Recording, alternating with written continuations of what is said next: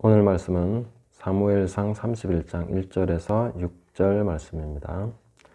블레셋 사람들이 이스라엘을 침해 이스라엘 사람들이 블레셋 사람들 앞에서 도망하여 길보아 산에서 엎드러져 죽으니라.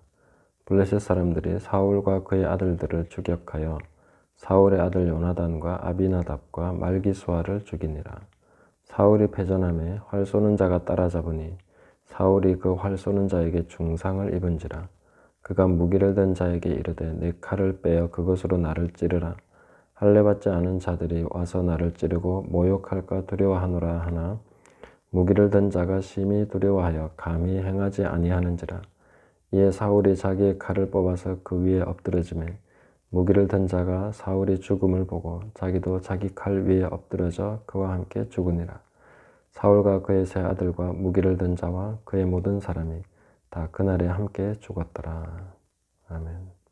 네, 오늘 이 말씀을 보면서 어, 사울의 죽음에 대해서 세 가지 질문을 해보게 됩니다. 첫 번째 질문은 이것입니다. 어, 사울은 수치스러운 죽음을 굉장히 싫어했습니다. 그래서 어, 스스로 죽음을 택하는 그런 길을 선택했는데요. 근데 왜 골리앗이 자신을 모욕하고 하나님과 군대를 이스라엘을 모욕할 때는 잠잠하고 있었을까? 그때 다윗처럼 달려나가서 목숨 걸고 싸웠더라면 얼마나 좋았을까 하는 생각을 합니다. 두 번째는 어, 자신의 할례받은 자에 대한 자긍심이 굉장합니다. 근데 이 할례의 표를 주신 하나님을 왜 가볍게 여겼을까? 왜 백성들의 요구 앞에서 하나님의 말씀보다 그들의 요구하는 것을 더 중하게 여기고 하나님의 말씀을 시행하지 못했을까 하는 아쉬움입니다. 두 번째는 이방인을 경멸했죠. 이방인의 손에 죽기보다 내 스스로 죽겠다. 네가 나를 죽여라. 어, 그런데 왜 자신은 이방인과 구별되지 못하고 신접한 자에게 가서 그렇게 묻는 이방인의 행위를 따랐을까 하는 것입니다. 어, 비단 이것은 사울에게만 던질 수 있는 질문이 아니라 어, 저와 우리 모두가 던질 수 있는 우리 스스로 가지고 있는 이중성 혹은 자신을 잘 모르는 무지함 에 대한 질문이라고 할 수 있습니다. 어, 이런 질문을 우리는 평소에 좀 어, 던져볼 필요가 있습니다.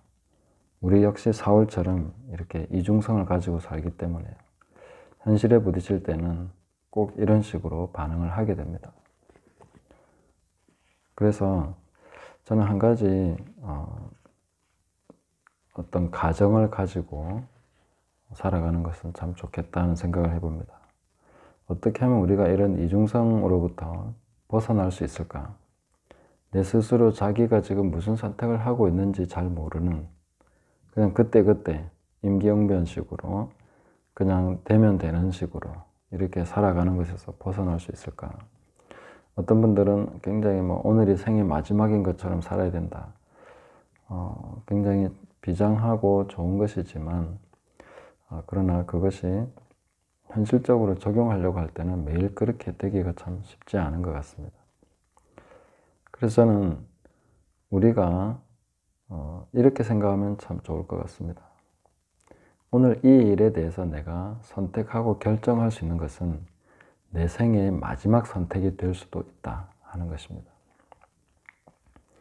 예를 들면 자녀에게 내가 이런 식으로 하느냐 못하느냐 하지 않느냐 하는 어떤 결정은 자녀가 자라갈 거기 때문에 내 생애에 이런 선택은 마지막 선택이 될 수 있다는 것이죠.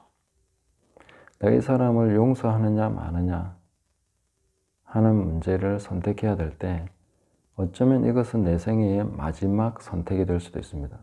제가 사는 날은 계속 지속될 수 있지만 이런 기회는 선택은 마지막이 될 수 있다는 것이죠. 이 생각을 늘 하면 참 좋겠다 싶습니다.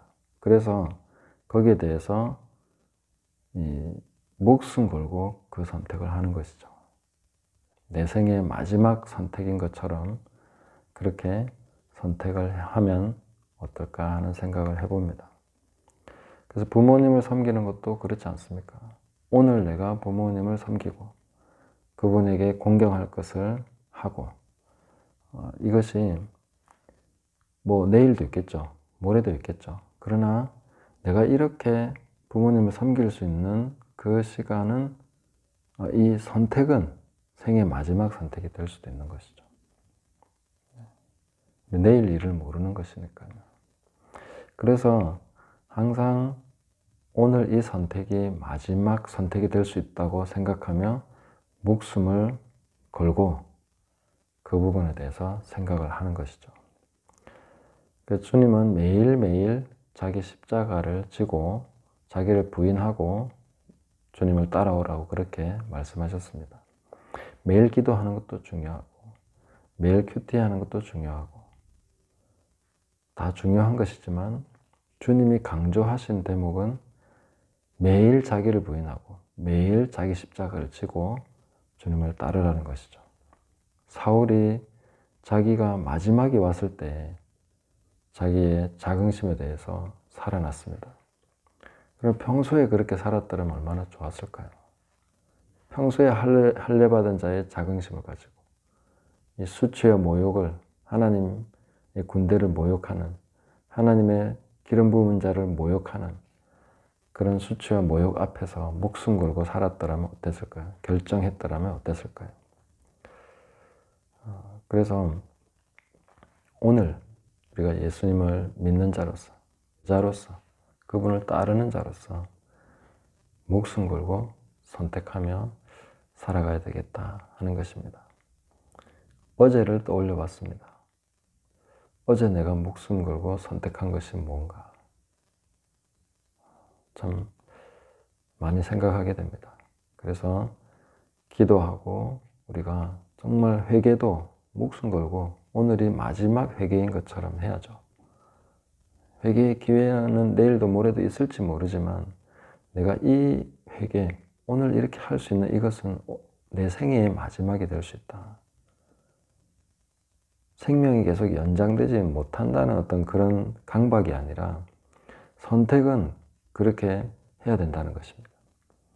목숨을 걸고 선택할 수 있어야 되겠다는 것이죠. 내 전 존재를 걸고 하나님 앞에서 선택받은 자로서의 그 중심을 가지고 오늘 하루 선택을 해야 된다는 것이죠.